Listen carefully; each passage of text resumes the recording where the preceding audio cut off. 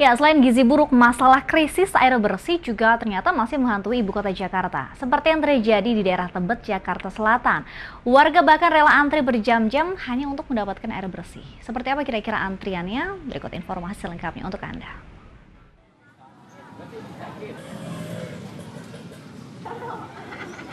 Jajaran galon dan ember sudah menjadi pemandangan yang tak asing bagi warga RW 10 Kelurahan Manggarai Tebet, Jakarta Selatan. Ya, sudah tiga minggu lamanya warga kesulitan air bersih.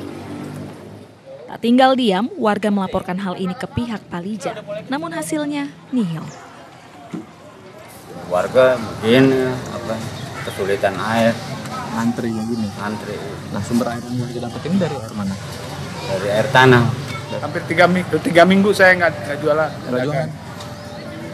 itu tadi saking butuhnya air buat masak buat nyuci buat mandi Ya, di musim hujan seperti ini masih ada saja warga ibu kota yang mengalami krisis air bersih.